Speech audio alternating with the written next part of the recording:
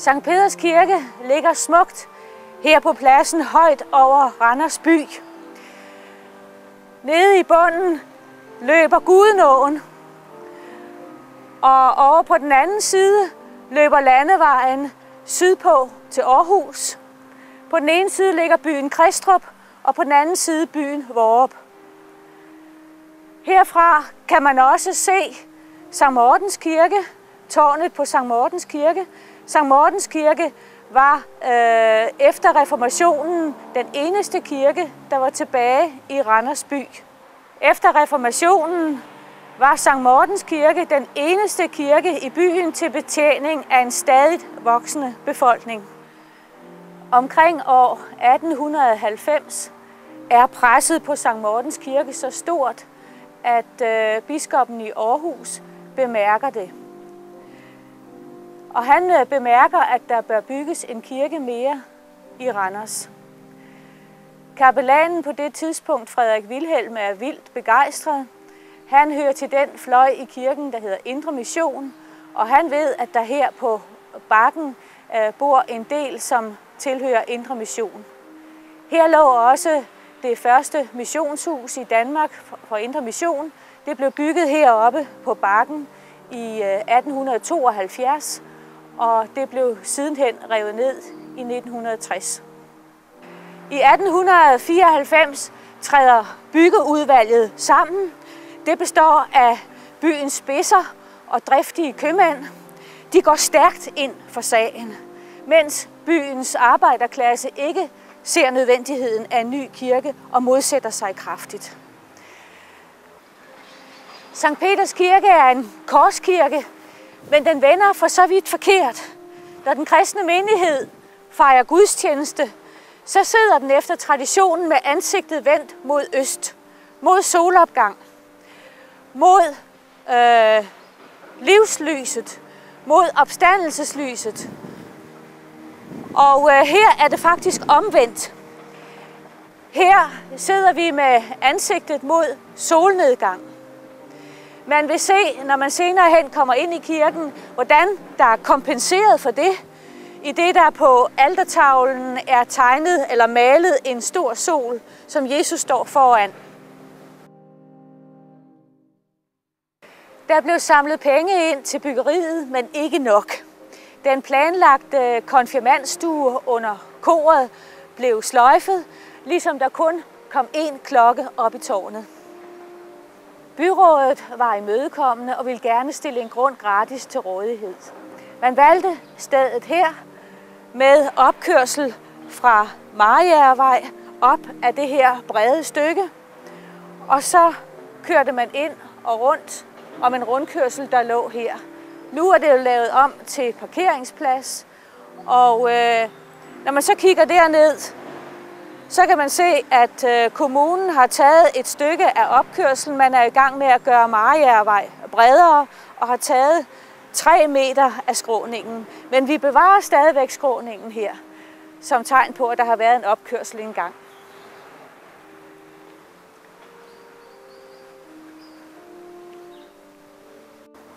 Man vedtog at kalde kirken for Sankt Peters Kirke, opkaldt efter Sankt Petri Kirke, som engang lå nede i byen. Peter, det er som bekendt den første af Jesu disciple. Han står frem og bekender troen på, at Jesus er Guds søn. Jesus siger, du er Peter. Peter betyder klippe. På dig vil jeg bygge min kirke. Nu er der ingen klippegrund herunder. Jeg står ganske vist på granitsten fra Bornholm, men herunder er der en grusbunke. Men klippen, det er trosbekendelsen, og den har lyttet her i kirken siden anden søndag i advent 1902. Årstallet står også over kirkedøren. Med latinske bogstaver står der 1902. Inden vi går ind i kirken, kan jeg lige fortælle, at der bor 8.000 mennesker i St. Peters Sogn, øh, og af dem er ca. 7.000 medlemmer af den danske folkekirke.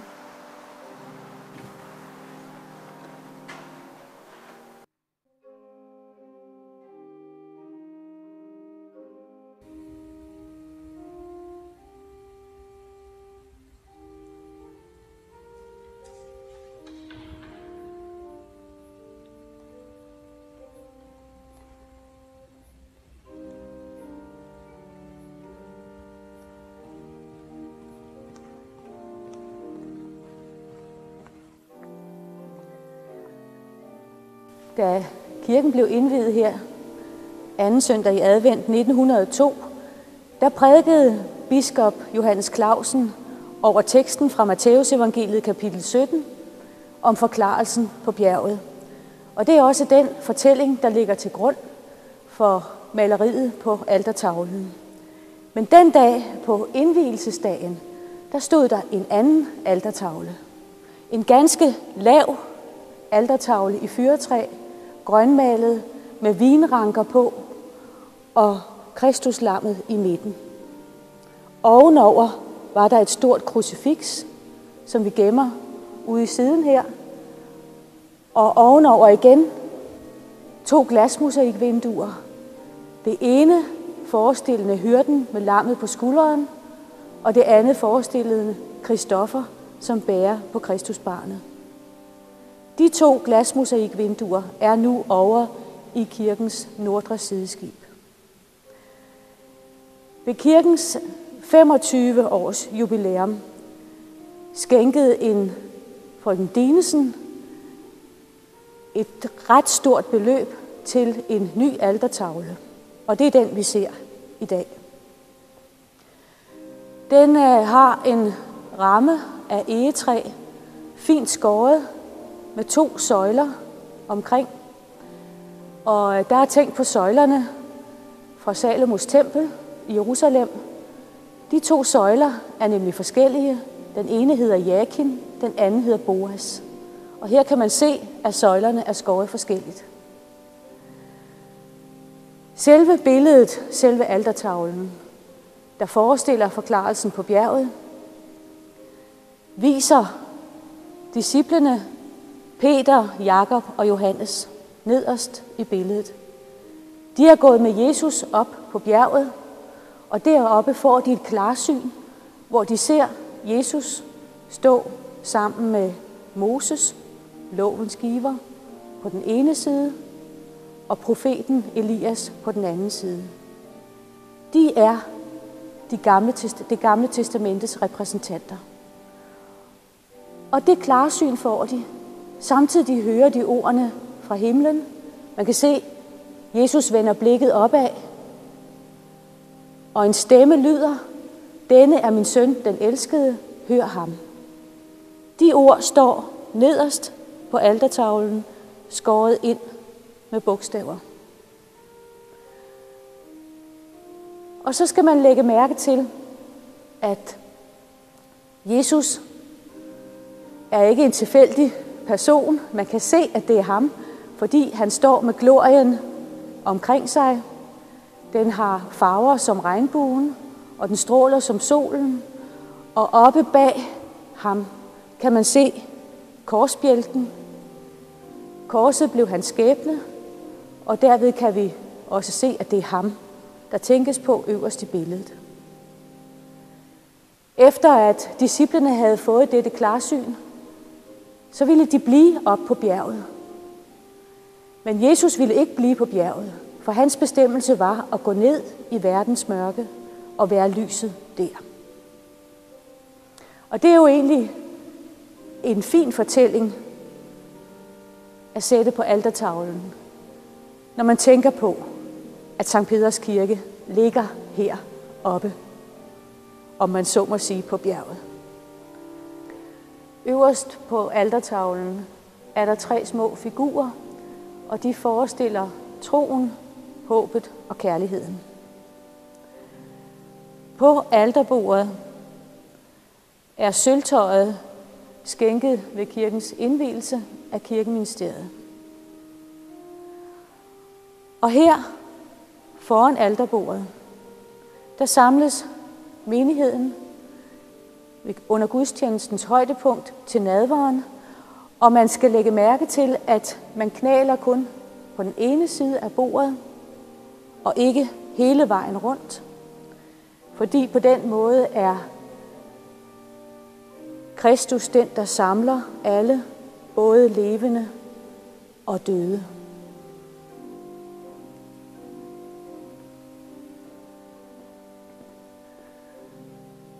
Ved restaureringen i 1958, som arkitekt Axel Hag stod for, der bemærkede man, at de mange vinduer herop i koret, at de gav et diffust lys ind, et skyggeløst lys, som øh, gjorde rummet gråt. Og man valgte derfor at blænde dem, både vinduet lige bag ved altertavlen og de to vinduer her mod nord, og de to vinduer i sideskibene. Udover altersølvet er døbefonden det eneste af inventaret fra 1902, som er tilbage. Døbefonden er hugget i sandsten, og den stod oprindeligt i grå, i et gråt udtryk, og den blev så malet hvid i forbindelse med restaureringen i 1958. I døbefonden er der et sølvfad og en kande, og ser man ned i fadet, kan man se en stjerne, og så kan man jo komme i tanke om verset fra Grundtvigs salme, Dejlig er den himmelblå, hvor det hedder, Vi har og en lede stjerne, og når vi den følger gerne, kommer vi til Jesus Krist. Og det er jo det, der sker i dåben. Her bliver vi indlemmet i det kristne fællesskab. Gud har en gang for alle givet sig til os i Jesus Kristus. Og øh, det kan der ikke rokkes ved. Så når de små minikonfirmanterne står her omkring døbefonden, og jeg fortæller dem, at her får de med ord og tegn Guds kærlighed, og at der ikke kan rokkes ved den, så er det rart, at jeg kan stå og rokke lidt til døbefonden, og på den måde vise dem, at det er urokkeligt, det de har fået.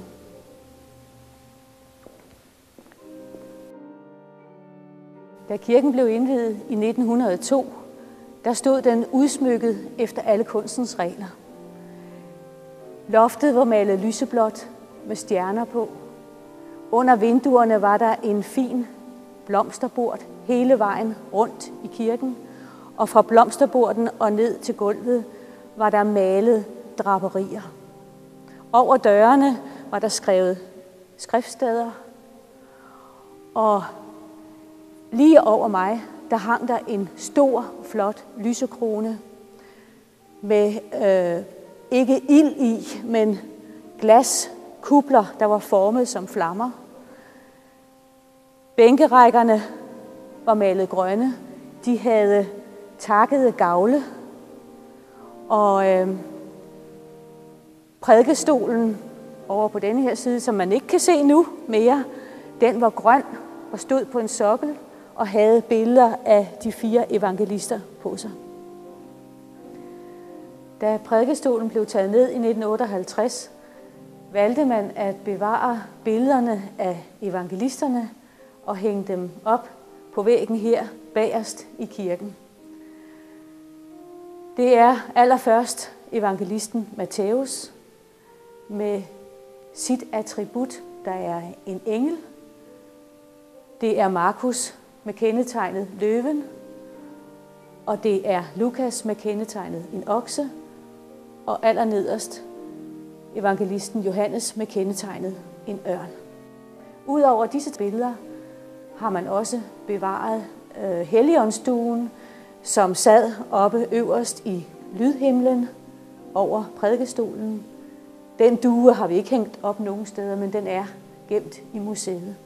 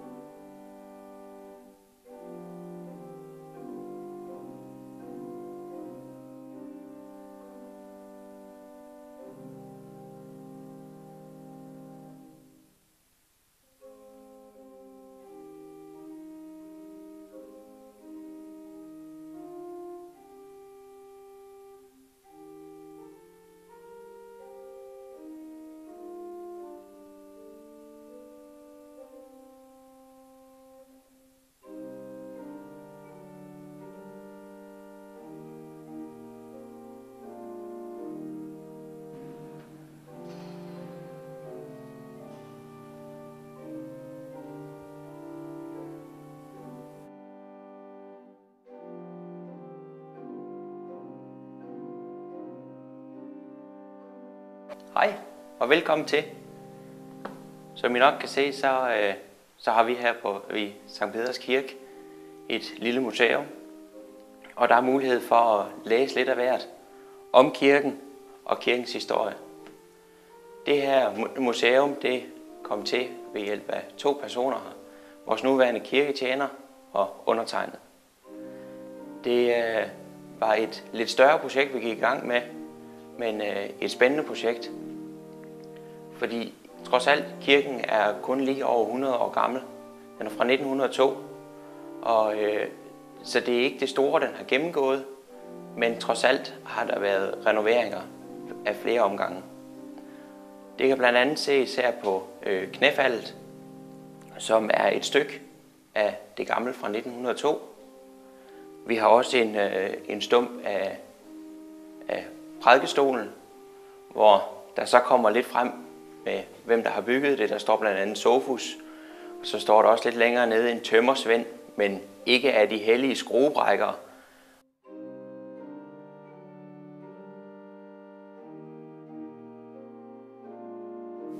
Det, øh, det stod opmagasineret bare lige med et klæde over og var gemt af vejen. Det er så kommet lidt mere til sin ret nu. Og med en lille tur rundt i museet, så får man indblik i, hvad Sankt Peders var, men man får også indblik i, hvad Sankt Peders er. Fordi med en lille tur rundt kan man se de gamle øh, præstetavler også, nummertavler.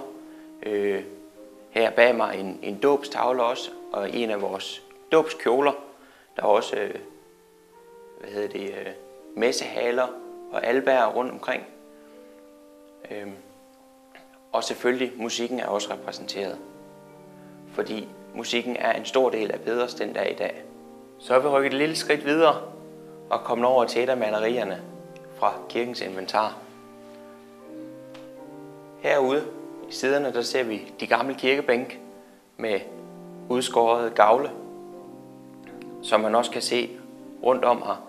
Og der er så kun bevaret en hel kirkebænk fra 1902. Længere op, der ser vi den gamle prædikestol. Øhm, og de malerier, som var på den, de øh, er at se inde i kirken den dag i dag. Så kan man se en af de gamle lysekroner hænge op midt i, og der er det kun dele, der er gemt. Resten de er støbt om og er en del af de kandelaber, vi har. Øhm, så er der selvfølgelig knæfaldet deroppe, som vi snakkede om tidligere. Øhm, og allerøverst har vi den første altertavle. Over den der er der to glasmosaikker, som man også kan se ind i kirken. Hertil der har vi de gamle nummertavler, som også hænger hernede. Plus at der har været en fantastisk udsmykning i hele kirken med kalkmalerier, lofter var beklædt med stjerner og border rundt i hele kirken. Jamen, øh, hvis så vi lige rykker herover ved siden af, så øh, kan vi se dele af den gamle prædikestol. Der har vi soklen, det nederste stykke, og malerierne, som jeg fortalte lige før, hang ind i kirken. Og så har vi selvfølgelig himlen. Ikke helt fra 1902, men ganske kort tid efter, fordi lydforholdene inde i kirken var så dårlige, som det var. Som man kan se her på tegningen, så er der selvfølgelig trap op til, for at præsten kom til at stå lidt højere, og så den oprindelige, eller den første himmel. Herunder der hang duene selvfølgelig, som er illustreret ovenover. Det er som sagt kun rester, der er tilbage, eller dele af himlen, fordi det hele ikke er bevaret. Det var den første af tre himler, som vi har haft i St. Peders. Nummer to var en enorm stor, fordi man ikke havde højtaleranlæg i kirken dengang. Og her sidst blev den så reduceret øhm, for så til den renovering, vi lige har haft af kirken, øhm, til at blive taget helt ned. Så har vi været en tur rundt i museet, og der er stadigvæk masser at se og læse hernede. Så hvis man har tid, lyst og lejlighed, jamen, så er det at henvende sig på kirkekontoret, og så enten få en nøgle der, eller også så følger kirketjeneren glædeligt med herned og fortæller.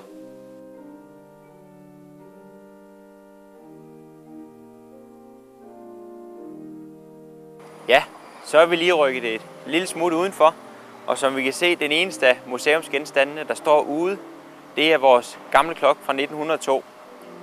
Den øh, stod nede på kommunens materielgård og er så hentet hjem til kirken.